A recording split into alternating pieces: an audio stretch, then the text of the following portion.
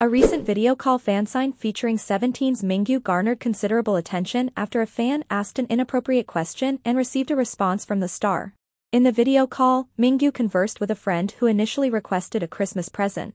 When the fan inquired about her wish, she daringly expressed a desire to see Mingyu's abs. Mingyu laughs at the request and says no.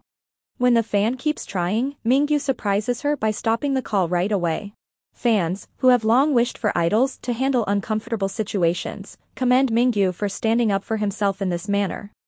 Netizens have defended rapper Lee Young-ji amid hate comments following her recent collaboration performance. She's known for her lively personality and close friendship with IVE's Yujin, which has entertained fans for years with their humorous interactions making headlines.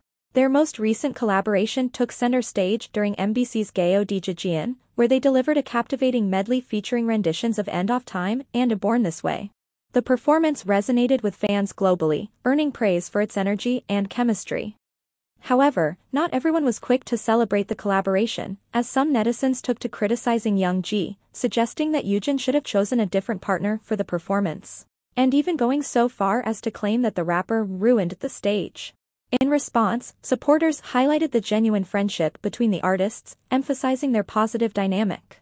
Beomgyu from TXT has just started using Instagram, a popular social media platform.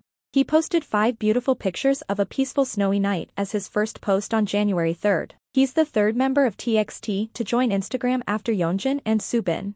His first post has received a lot of attention from excited fans who are looking forward to more. Beomgyu already gained million followers, and fans are eager to see more about his life through his Instagram posts.